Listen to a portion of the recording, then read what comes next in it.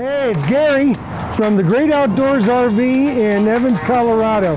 Today is the G19 toy hauler. Absolutely a great unit. It holds 1,220 pounds. It has gas suspension. It's got solar. It has the tire indicator on it. It has everything. I'm going to go through it with you.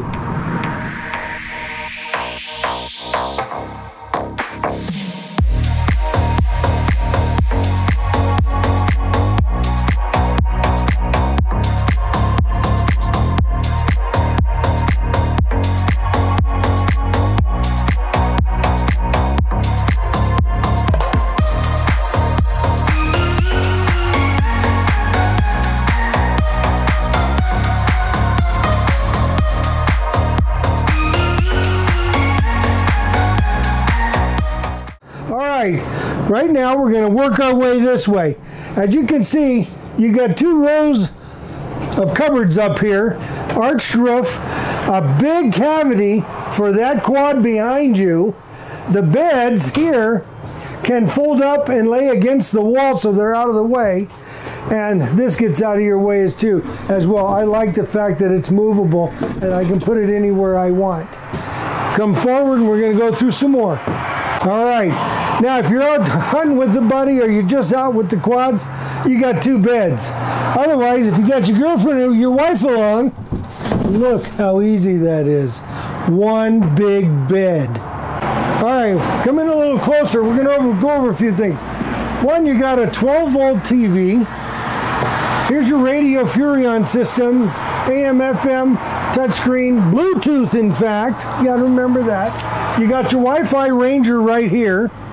You also have two plug-ins for uh, USB. You've got a two-stage refrigerator.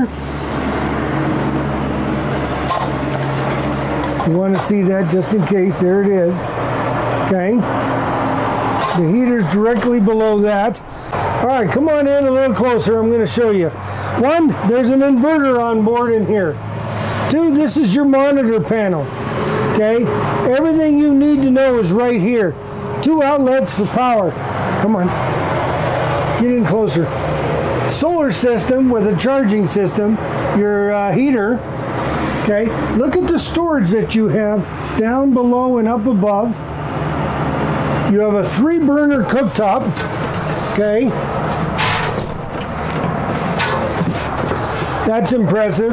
You've got the uh, power tree in the corner, stainless steel sink, now from here, we're going to wrap it up and take a look how simple and easy this bathroom is. Okay? You got room for your toiletries, a, ba- a garbage can, stand-up shower or tub if you've got a little one. More storage behind you, MaxxAir vents and vent covers.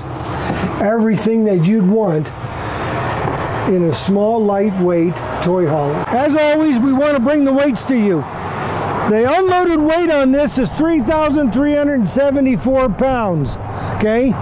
The loaded weight is 4632. So this thing holds 1,220 pounds.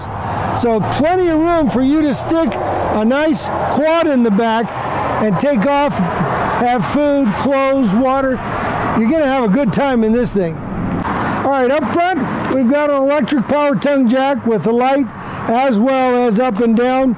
Uh, you're going to have two propane tanks. They're five gallons or 20 pounds. You got enough room for two batteries here. And in the back, this is where the uh, air compressor is to pump up that uh, uh air suspension I was telling you about. And we're going to take a closer look at it. All right, come on around. One of the nice things is Look at the size of this storage. It's about three and a half feet tall and it goes about three feet back. It's good size. Okay, right along here, easy location for your dump valves. Okay, hot and cold shower water. Uh, you're going to be out in the sand before you drag yourself inside. Why not wash down a little bit? Over here, everything is ergonomically designed. You got the tank flush, you've got your city water, you've got your antifreeze spill cable and satellite, and this is your potable tank, portable potable water tank right here. All right, don't you get in here and get close? I want to show you the air suspension system, and in case you're wondering, that is your dump valve for your potable water. But you can see this gauge right here tells you when you're in a safe zone, okay?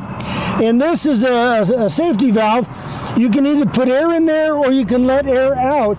It's a backup to the air compressor should it fail. So they've kind of thought of everything. All right, now he's going to get elevated so he can check up here. I want you to see the MaxxAir cover and your Wi-Fi ranger right there next to the radio antenna. They try and maximize every possibility they can. You also have oversized tires on this because you are going off-road and you're carrying more weight. And it's a lift kit on here. As we work our way around, as you can see, we've lined it up with a, a quad that will actually fit inside, so it's pretty big. These are your air flush systems. You have one here and you have one up in the corner over there that fluctuate, circulate, and blow out the bad air fumes. Down here you've got your LP disconnect. You also have your tire assembly for your spare tire down there. Table, and this is where your griddle goes.